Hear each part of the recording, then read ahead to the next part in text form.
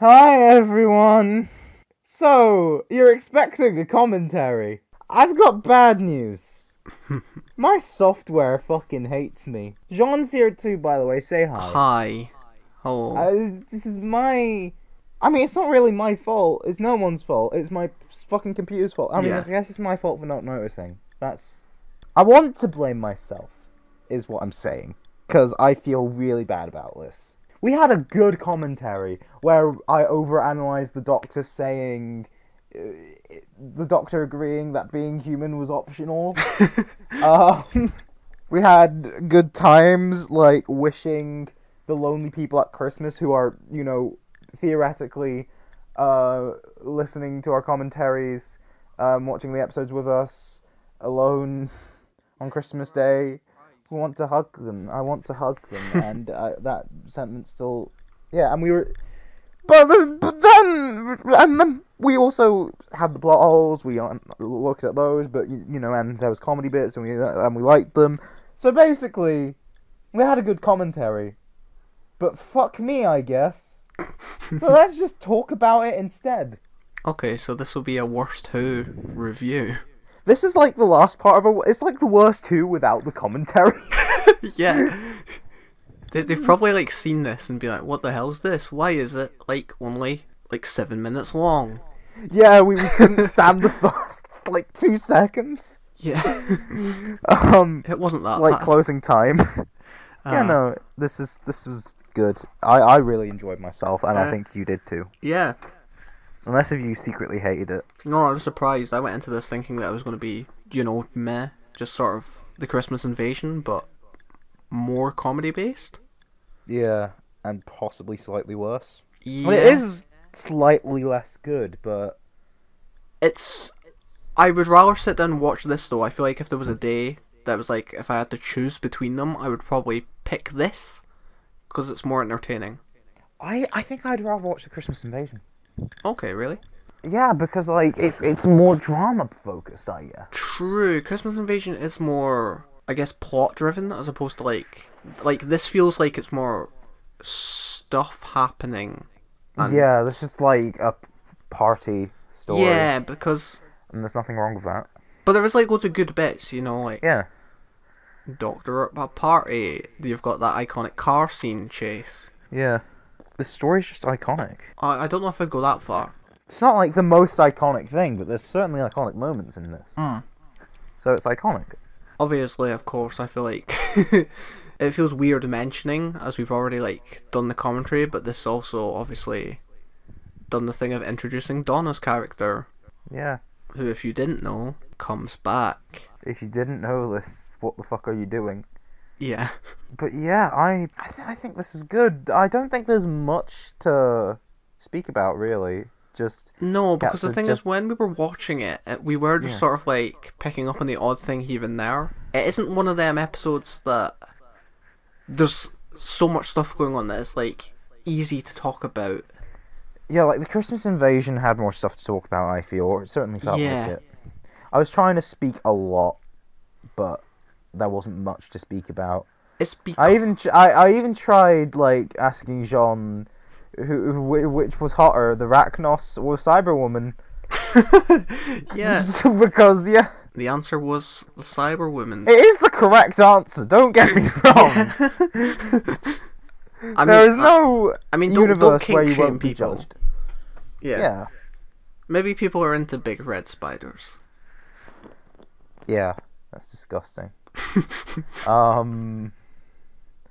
Also, what was another funny m- moment? Like, oh yeah, the the the thing in the center of the Earth is basically the moon being an egg. Oh no. Remember? Yeah. But this, it's done right here, I think. well, yeah, because it's not ridiculous like the moon is an egg. Yeah, no, it's it's. So you where can this thing has- disbelief. Yeah. This thing has became the center of the earth Yeah. to lay eggs.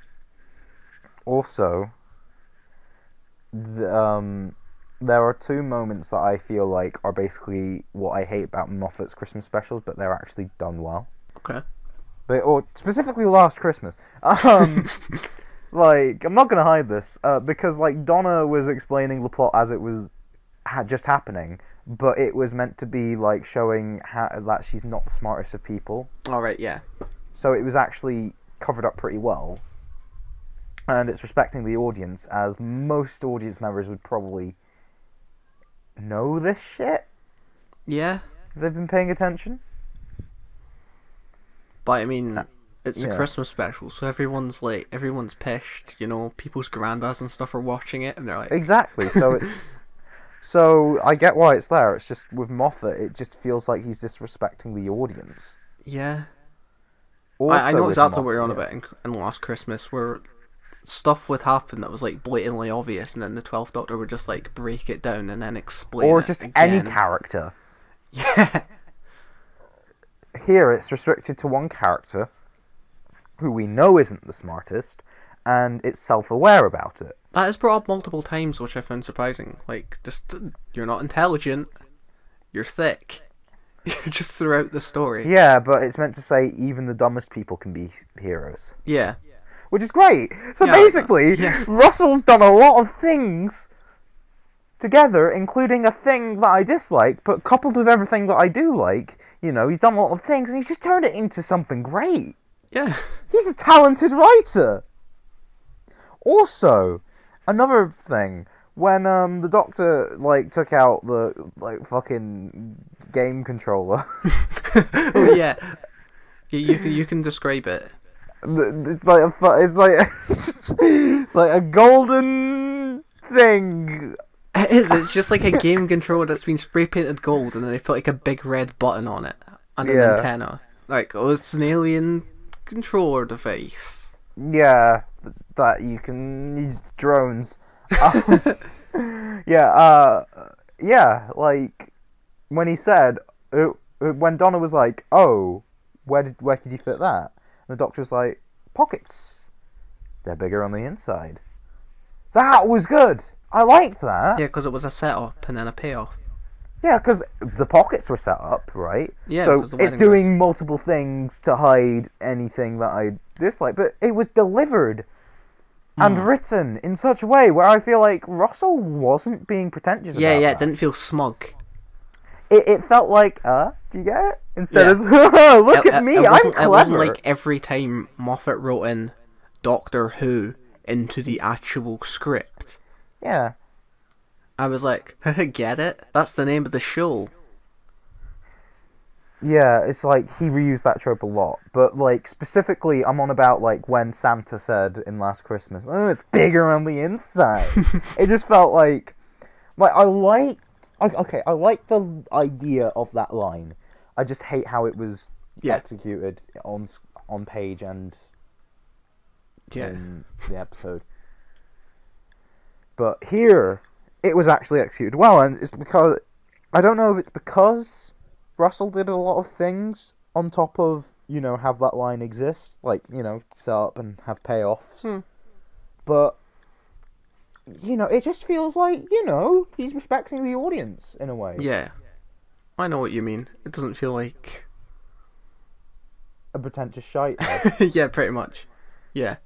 so basically, what I'm saying is Russell good, Steven bad. Well, I mean, we to be fair, we haven't seen the good. Well, the the good Moffat ones yet. I mean, we've seen one that we that we liked. Well, there was one that we liked from start to finish. How many? How many have we seen so far? We saw. I'm just gonna count them, Yeah. just for the, just so the viewers. yeah. So they don't know so which ones keep we're some sort about. of illusion. Yeah. One, two, three, four. There are four that we have fully recorded. Okay.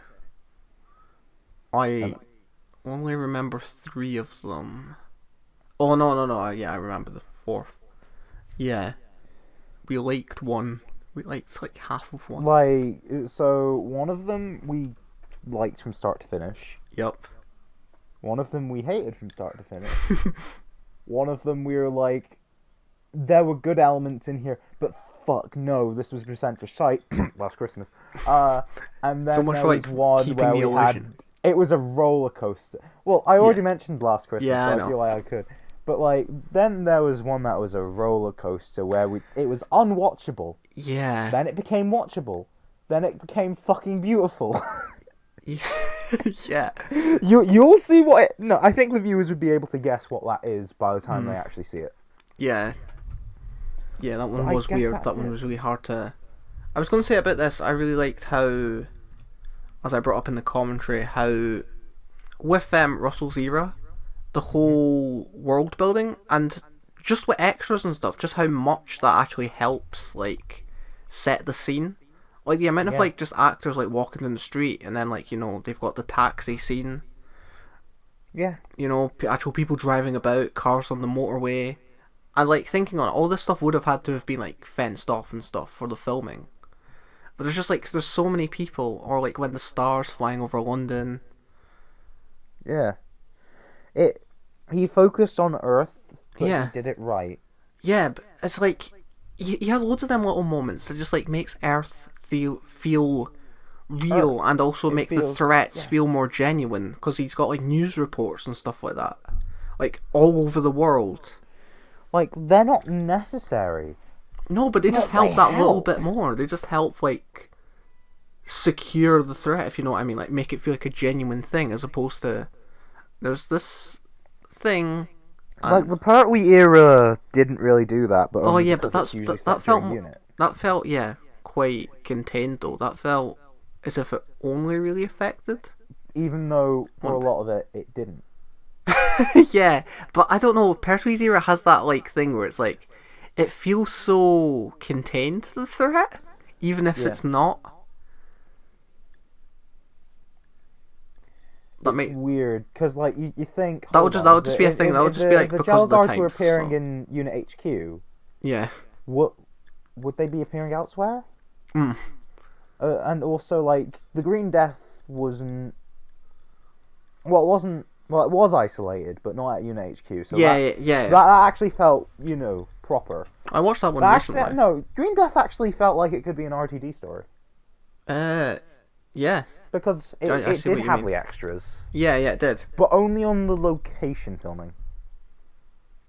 Studio bound, no. Everyone was a character. In I think it worked. I think it. I think it was. yeah. It was like the right amount though. Yeah, it was self-contained, but for a reason because that's what the plot required. It was explicitly self-contained. But then you've you've also got to think of stuff like Spearhead from Space and Silurians. Oh yeah. Those are not contained. um. I mean, I mean, there is obviously exceptions to this rule. I just meant generally. yeah, yeah. Like, I was thinking think of of the Pertwee example. era, it feels like quite contained in its threat. Like even when they go to like a planet or something, even like the Drashigs, there's something that feels like oh, they're just there. I mean, it was contained in the miniscope. yeah. but yeah, like Russell's era. Yeah, he really Russell up the knew threat. how to do Earthbound stories, which shows as most of his stories are set on Earth. I feel like it did. I, I feel like it did become a problem after a while, where it's like, oh, they're attacking Earth again, and the whole world is in danger. That did I'm become a little bit of a trope. of episodes that are very not set on Earth. I'm I'm thinking I don't. I, Multiple I, Planet, Satan Pit, and uh, Planet of the Ood, and Waters of Mars, and Planet of the Dead. I think those so all of the good ones minus the last one. Utopia as well wasn't set on Earth. Hmm. Um, I'm trying to think of others. Um, Uh, like, well, I mean, we're not counting New Earth because because like remember in the last Quinton reviews video, and he Yeah. was just like, yeah, Doctor Who has this habit, apart from in the Russell T Davies era, when they when it was basically just Earth and New Earth. Wait, wait, listen. I'm just gonna think like series two. What the majority of it is just Earth.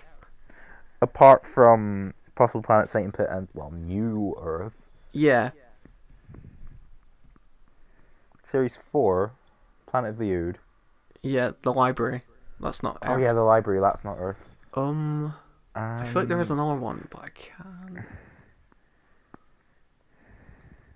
Actually, maybe there's not. Doctor's daughter. Oh yeah, the forgettable one. Yeah. I get why it's popular and it shouldn't be. Wait, is it popular? I thought it was the one that people hated because I don't Yeah, I Hate it. well, it's popular among people who like stands, like stan accounts that are like, stands, yes, because of. oh, it's David Tennant's wife and also Peter Davison's daughter. Oh, that's. So... I bet these people haven't seen a single Peter Davison episode in their life. What do you mean? i they've probably well, seen no, Time no, no, no, Crash. seriously. Uh, maybe they might have seen it, but only because David Tennant was in it. Yeah. Can you see my point? Like, I uh like these are the sort of people I hate. It, like I hated, like a few Well, I mean, years ago, and because now the I'm Davison just era like isn't very good. the Peter David. It's got Come good at me, moments in there. fans. Yeah, there It's is. got good. It's, there's like- it's the worst Doctor era of Yeah, the classic series that's our hot take. Because there isn't as much good as in the Colin Baker era, Yeah. and the Colin Baker era didn't have much good. no. That's the thing. But Colin, Colin ha- saved that. I feel like Colin brought it up. Meanwhile, Davison sort of Davison could have brought it up, but a lot of his stories were just bland. yeah. Colin's his stories doctor, weren't. his doctor doesn't feel like he has the personality to like bring them up.